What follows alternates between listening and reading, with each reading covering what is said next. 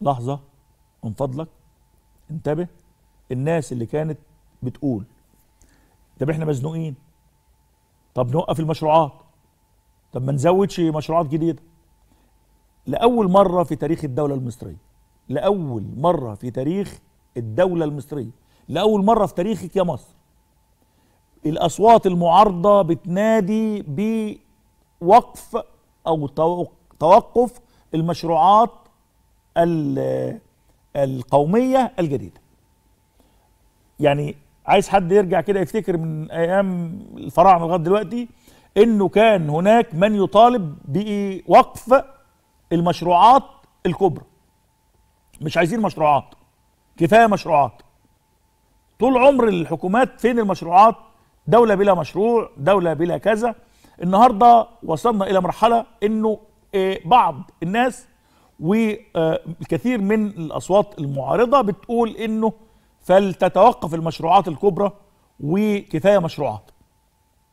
طيب الدولة نظرا لأنه في ظروف اقتصادية ضاغطة في الداخل وفي المحيط فقررت الدولة وهي بتحط الموازنة السنة دي إن إحنا نعمل مشروعات بس بتريليون جنيه فقط. نعمل بكام؟ بتريليون جنيه أهو. وحد أقصى تريليون جنيه للإستثمارات العامة لكل أجهزة الدولة ومؤسسات الدولة دون استثناء لا فيش استثناءات. وزارة النقل وزارة الكهرباء وزارة البترول وزارة التموين اللي عايز يعمل مشروعات. المشروعات دي كلها مجتمعة خلال عام 24 25 لا يجب أن تزيد وفقا للقانون عن تريليون جنيه يعني ألف مليار. طبعا استكمال المشروعات ده واجب وصلت 70 80% مش هوقفها يعني. فده نوع من الانكماش أو نوع من آآ آآ آآ إحنا الدولة بتعمل عملية تقول يعني خلال الفترات الماضية اللي قال لك الدولة بتكوش والدولة بتزاحم والدولة بت... طب الدولة يا عم قالت لك أنا مش هستثمر غير بتريليون.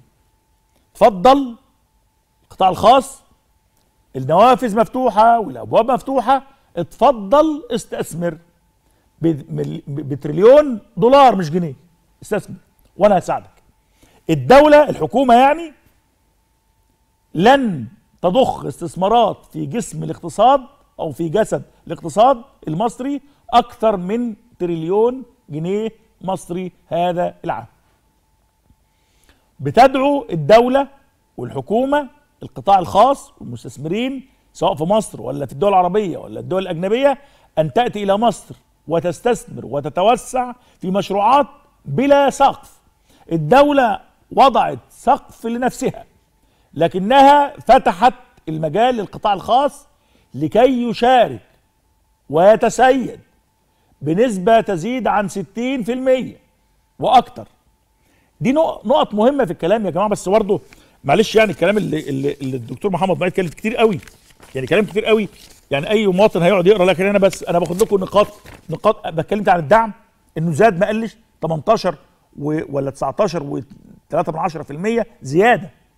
اتكلمت على الموضوع الخاص ببعض ال دعم الطاقة دعم التموين بعض الفئات اللي فيها حماية اجتماعية.